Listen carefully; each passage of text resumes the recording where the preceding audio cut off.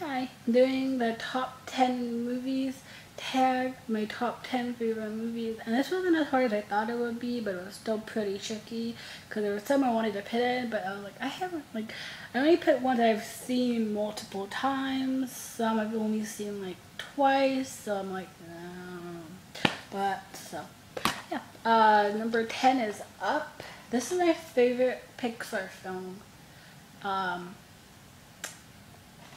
ever. Yeah, another one I'm not.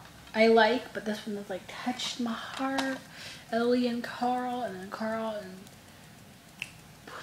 Papa. That's all.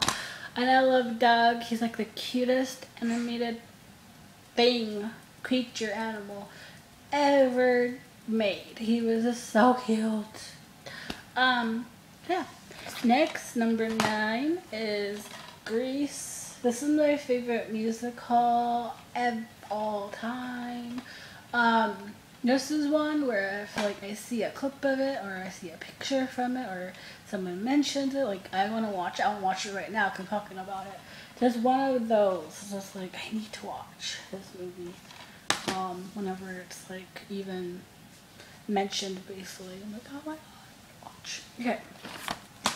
Number eight is On Golden Pond with Henry Fonda and Katharine Hepburn. Is Henry Fonda's last movie and it's beautiful and Katharine and Henry had never met before.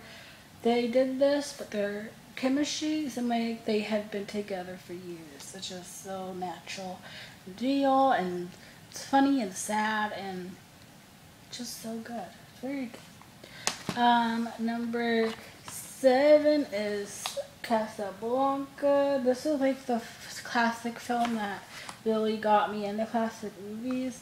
So, yeah, it's a good movie it is. Um, okay. Number six is The General with Buster Keaton. This got me in a silent film. This is the first silent film that I watched and Buster Keaton is my everything. I love him. So yeah, it's just it's so funny and he's brilliant and yeah. Okay, number five is um, My Fair Lady. My favorite watching film used to be Charade, and I still love Charade. I think it's pretty actually second favorite, but My Fair Lady kind of etched it way up there because this is the movie that I always want to watch.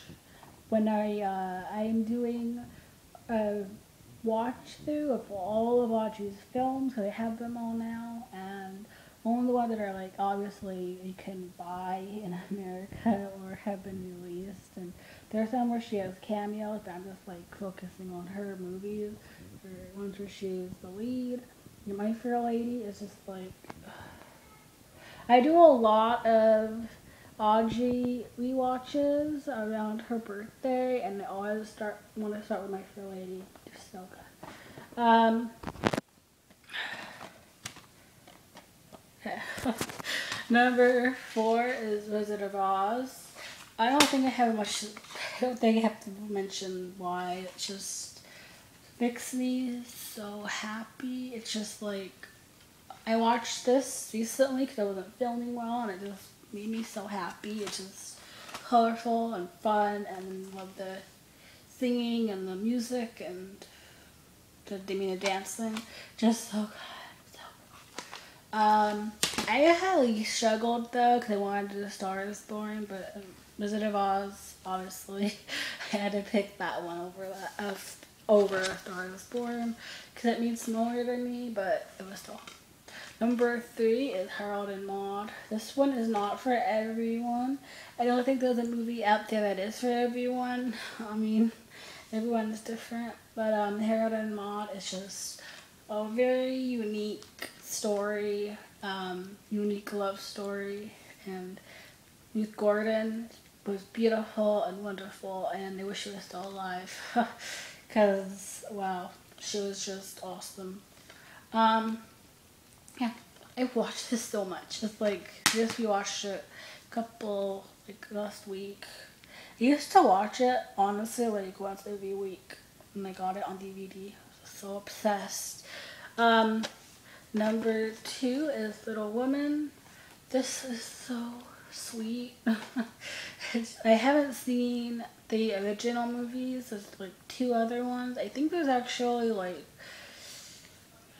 there's another one, and then University did, and then there's another one, and then they were doing doing another one. There's so many adaptations like that I haven't watched, but this one, I bought my mom a long, long time ago for Christmas or her birthday, or I think it was her birthday. I don't know. And she watched it. She didn't let me watch it, and I was like, oh, no. But then I watched it, and I'm obsessed now. Okay.